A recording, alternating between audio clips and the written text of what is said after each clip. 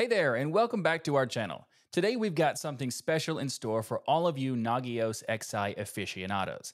I'm excited to introduce a technical guide that's about to take your Nagios game to a whole new level. So what's the buzz all about? Linbit has rolled out a technical guide, and trust me, you're going to want to get your hands on this one. It's all about setting up Nagios XI with high availability using DRBD and Pacemaker on Red Hat Enterprise Linux, or one of its relatives.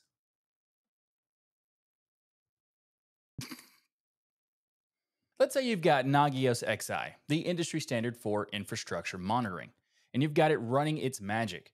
But what if something goes haywire? That's where our guide steps in, turning your Nagios XI setup into a resilient monitoring cluster with the added superpower of high availability. We're talking industry trusted DRBD high performance data replication and the time and again proven cluster resource manager Pacemaker.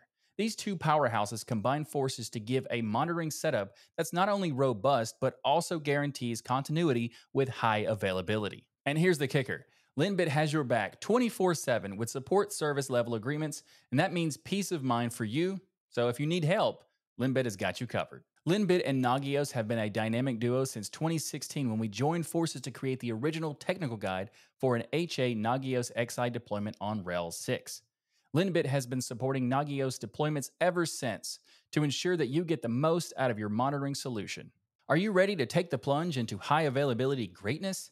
Well, you can download your copy of our technical guide for creating a HA Nagios XI deployment on RHEL 9. The link is right there in the description. Elevate your monitoring game with Linbit's guide, and let's make sure your Nagios XI setup is not just good, but exceptional. Thanks for watching. Don't forget to hit that like and subscribe button, and I'll see you in just a Linbit.